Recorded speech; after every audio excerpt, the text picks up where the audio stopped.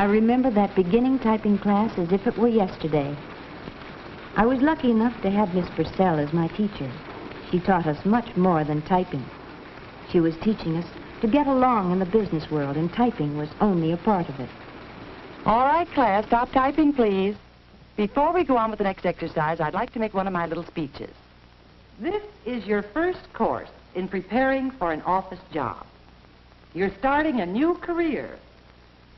It can be fun, or it can be hard. It all depends on the way you look at things, your attitude. For instance, you'll be working in an office. Well, don't forget the golden rule works there just as it does anywhere else. Treat others as you want to be treated. Here's how it applies to an office. First, of course, know your job. Enjoy it, but also enjoy the people that you're working with. Be considerate of them, and be considerate of your employer. Remember those simple rules of office etiquette, and you'll get along in the business world. Now then, let's do skill building practice eight. Say margin. Begin typing when ready.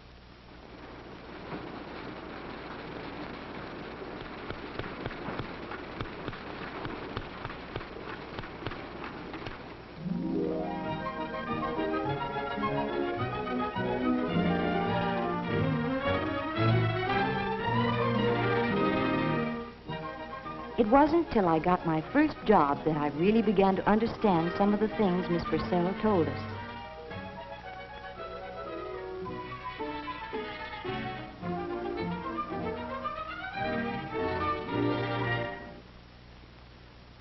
I think this application is filled out all right, Mr. Arnold. Thank you. I see you're a student of Miss Purcell's. We've a number of her former students with us. Her recommendation means a great deal here. I enjoyed being in her classes. You did very well on your test. Can you start Monday morning? Monday morning? Oh, that would be wonderful, Mr. Arnold. We're a small organization, Miss Spencer. We find that getting along with people is pretty important. Do you think you can do that?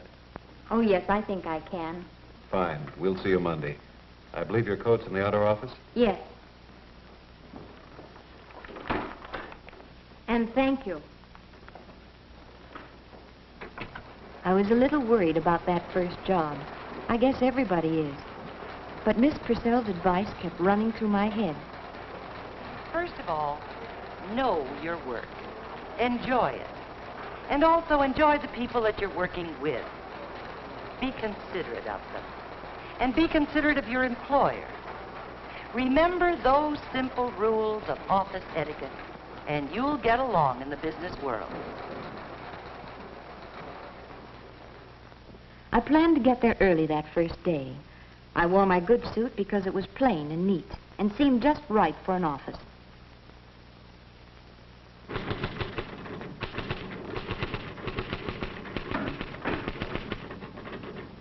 Good morning. I'm Joan Spencer. Oh, yes, Miss Spencer. We're expecting you. Miss Hamilton will be your supervisor, and she's on her way in now. Won't you have a seat? Thank you. How do you do, Miss Spencer? Ready to go to work? I'm looking forward to it, Mr. Arnold. Good morning. Good morning, Miss Hamilton. This is Miss Spencer. She's the stenographer and file clerk who's starting this morning. How do you do, Miss Spencer? I understand you're one of Miss Purcell's students. Yes, I was graduated last semester. I know her quite well. I'll show you where to leave your things, and then we can get to work. All right. Girls, this is Miss Spencer. Miss Hamilton and Mr. Arnold certainly set a good example of courtesy for us to follow. This will be your desk.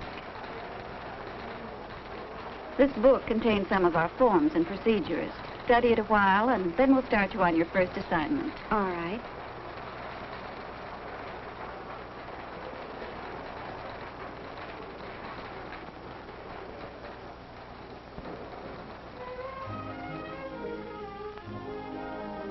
The girls took me to lunch that first day.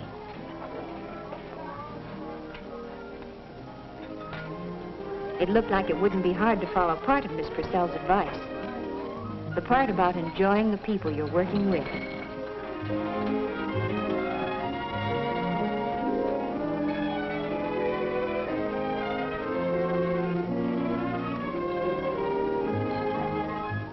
The part about know your work was a little harder. I did a lot on my own those first few weeks. There was many an evening at home getting acquainted with the company's work and learning some of its business terms. What a long time ago that was. It hardly seems possible now there was ever a time when I didn't know those terms. But I found that I still had a lot to learn.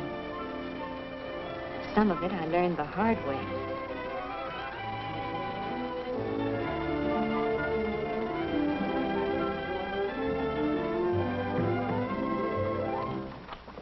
Thank you, Miss Spencer. Well, Miss Spencer, Yes, Mr. Kane? this letter that you typed this morning, I believe there was a mistake here. Oh, It doesn't seem to make sense. I can't remember just what word I used there, but I don't think I could have said this. oh yes, Mr. Kane, that's what you said. I have it right in my book. Well, suppose I give you this paragraph over again. Yes, sir.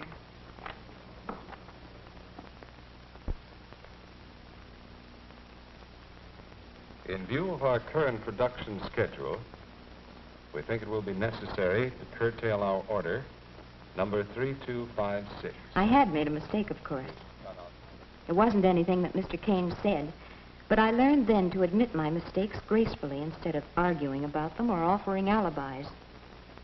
I learned to ask when I wasn't sure instead of making a wild guess. And I learned not to resent criticism or to brood over it. Since then, I've learned a lot of do's and don'ts about office etiquette by watching the others in the office.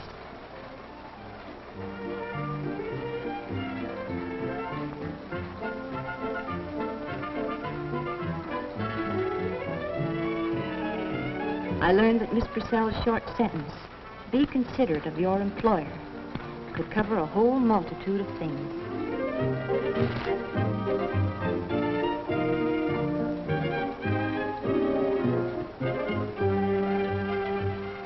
One of the most important things, of course, was doing office work during office hours.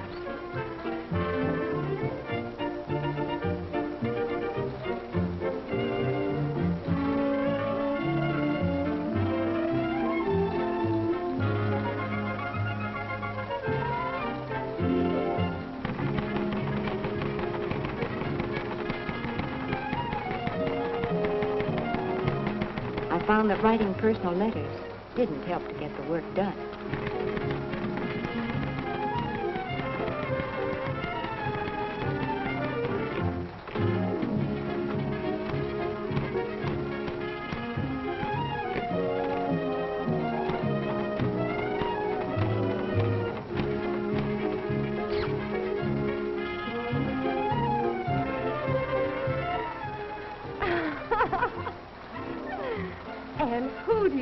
Ran into? Joe. I learned that personal telephone calls interfered with business. Oh, I was so mad I could have slapped her face. No. You wouldn't think she was that kind, would you? Why, that little cat. I learned that it's only fair to plan your personal life so that you're always able to put in a full day's work.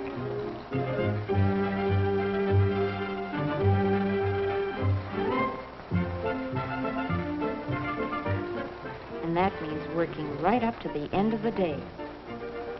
And I learned that a date after work is no reason to break the rule about simple dress in the office.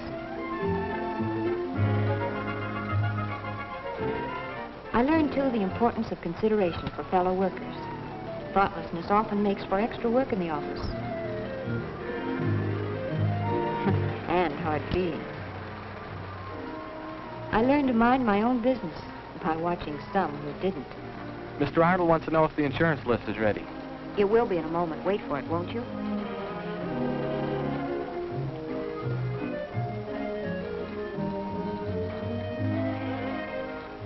You know you shouldn't do that, Jimmy. Do what?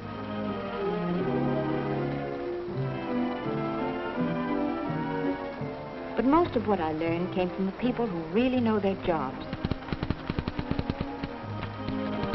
I learned the importance of neatness and organization in planning work.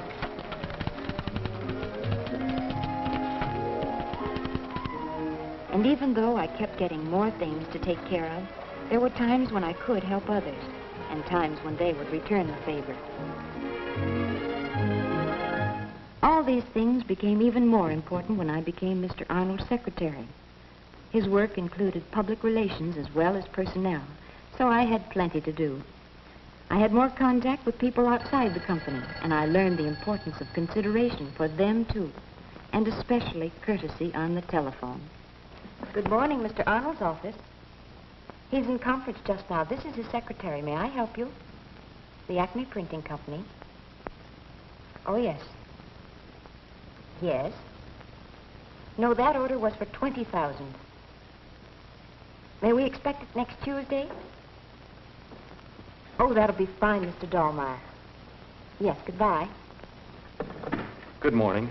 My name's Herbert Forbes. I have an appointment with Mr. Arnold. Oh, yes, Mr. Forbes. Mr. Arnold will be with you in a moment. He asked that you fill out this application blank. You may sit at the table over there.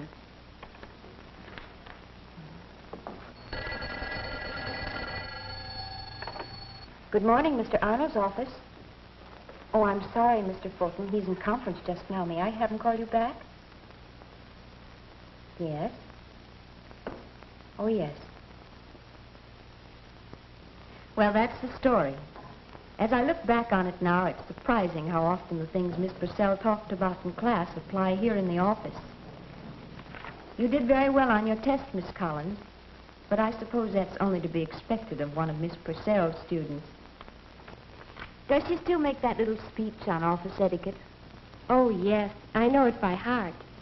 First, of course, know your work. Enjoy it. But also enjoy the people you're working with. Be considerate of them. And be considerate of your employer.